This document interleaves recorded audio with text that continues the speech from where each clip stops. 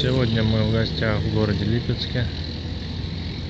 О, тут у нас всякие долбоебы продают флажки.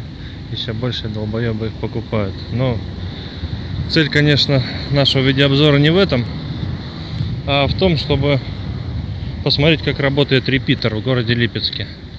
Значит, у нас есть радиостанция 8 ватт, аналог UV5R, UV8HX. Вот сейчас на нее будем слушать репитер. Сейчас э, пока что стоит максимальная как бы мощность передачи 8 ватт. Сейчас слушаем, короче. Алло.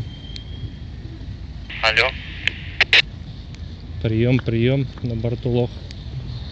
прием, прием, на борту лох. Раз, раз, пиджи, раз. Раз, раз, иди, раз. Вот.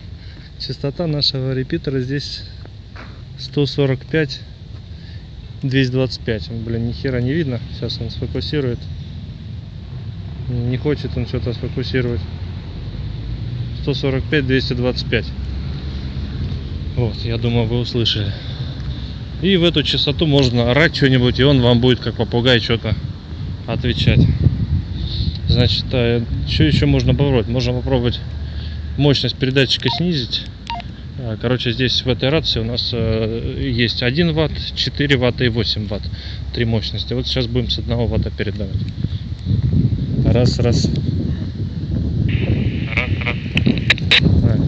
Значит, видим, что с 1 ватта у нас связь тоже проходит. Ну, по отзывам я, конечно, не знаю, я тут первый раз в этом городе.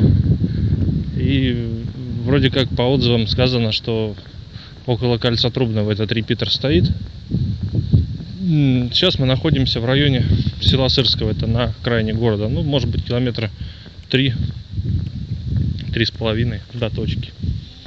И там вот он как бы принимает. Таким образом можно проверять свои радиостанции, как они там на прием передачу работают.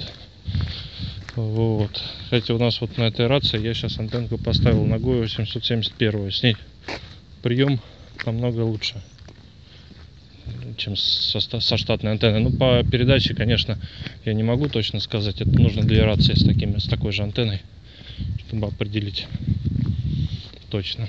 Ну, на этом, я думаю, все. Всем стало понятно, что такое репитер и на какой частоте в городе Липецке он находится. Ждем новых обзоров. Ставим пальцы вверх. Если не понравилось, ставим пальцы вниз. Пишем комментарии. Всем пока.